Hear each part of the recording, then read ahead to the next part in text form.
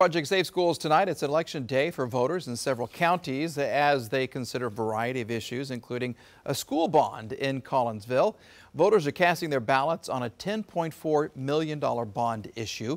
2 News Oklahoma reporter Brady Halbleib tells us where the money will go if it's approved. I'm here at Collinsville High School where administrators are hoping voters do pass their latest bond issue. The district says it's an important one because the district is growing and fast. It's the second bond of a three phase plan to address that growth. The first phase passed in 2018 with a $7.5 million bond.